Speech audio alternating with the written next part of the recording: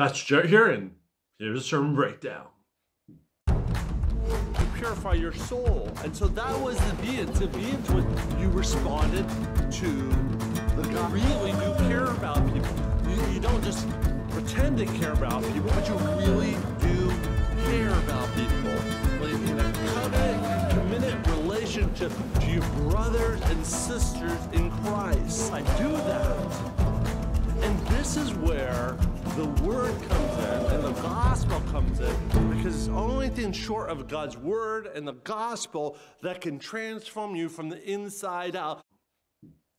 Well, this week we talked about love one another from 1 Peter chapter 1, 22 to 25. And in it, it said this Since you have, in obedience to the truth, purify your soul for love of the brethren without hypocrisy. Fervently love one another from the heart. For you have been born again, not of corruptible seed, but incorruptible seed. That's through the living, enduring word of God. For all flesh is like grass, and all is it the glory like the flowers of the grass, and the grass withers, and the flower falls off but the word of the Lord endures forever. This is a word which proclaim to you as the good news. Now, as we looked at this passage, this is really about the love for one another that we should have in the church. And he talked a little bit about this. In the first thing, he was talking about to your obedience of truth that purify you. And as we talk about this sermon, this is not uh, obedience, truth, the purification is not works righteousness, because we know by faith you would say by by grace, not by works. We know that from Ephesians. But here's what he's talking about is if we look early to the passage, he's talking about the gospel. Your obedience to the gospel. You've known the gospel, you received the gospel, be obedient to the gospel. You know, respond to it, put your faith and trust in the gospel, and live out your life as if, as to the gospel. And so that's what this passage was talking about. And then that change, that obedience, that purification should lead to obedience or, or, or to the love of the brethren and sisters in Christ. And he gives some specific things. First being the it, it should be a brotherly love. And this is where we get the word Philadelphia brotherly love, or we could say sisterly love.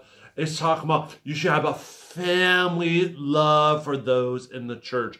That you should love those in church as your brothers and sisters of Christ, as your moms and dads of Christ. You should love them as a family.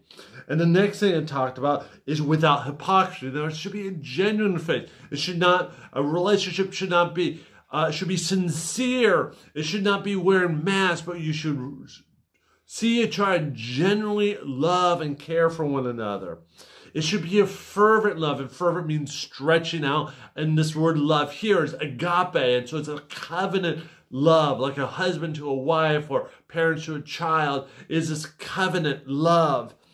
And then it talks about from the heart, and this is a word from your desire, that you desire to have a loving relationship with those in the church.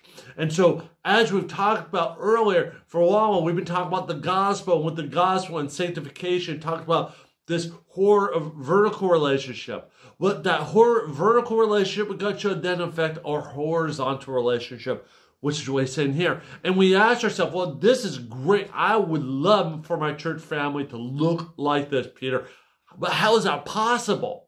And so this is where he goes and he goes back to the word of God because it's the word of God is the gospel that makes us available. It talks about that the word of God is transforming word that you are sanctified, you have been transformed not by a corruptible seed, not of the seed of this world, not of the, the ways of the world, but incorruptible seed by the word of God, by God's word, God's truth, by the gospel. You have been changed radical.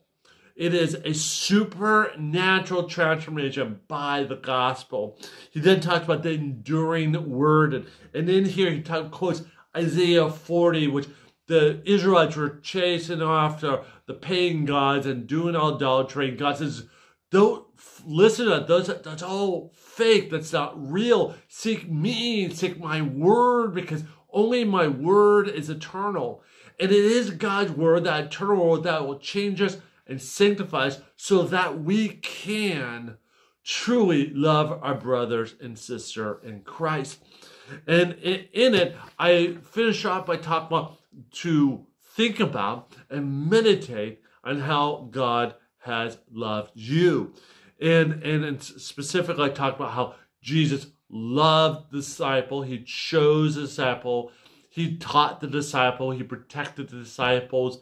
He took care of their physical needs. He encouraged them. He empowered the disciples. He forgave his disciple. He was very patient with his disciples. And he loved them sacrificially to the point of death on the cross. And as Jesus has loved his disciples that way, he has loved you, beloved, that way. And we need to understand how has God loved you? And so this goes to the, the memory verse, uh, John 13, uh, 34 through 35. Let's see if I can look it up real quick here. Uh, uh, uh, uh, uh, 13, uh, 34, 35. A new command I gave you that you love one another, even as I have loved you. That as you love one another, and by this all will know that you are my disciples if you love one another. This is a defining quality of a believer, and those who are part of churches that they love one another.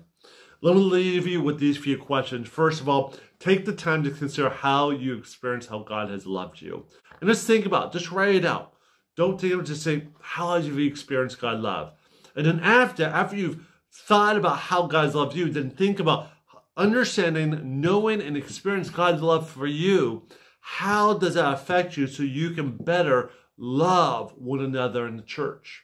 Number three, meditate. I encourage you to meditate on the 1 Corinthians 13, uh, 4 through 6, and Galatians 22 to 23.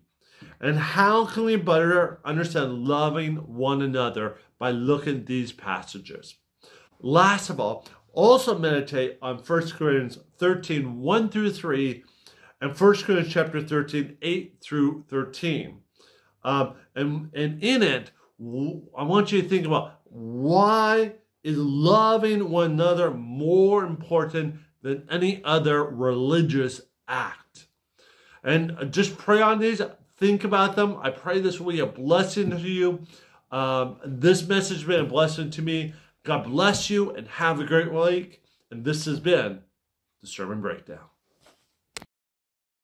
If you like these videos, please like, share, subscribe, and ring that bell. God bless you and have a good day.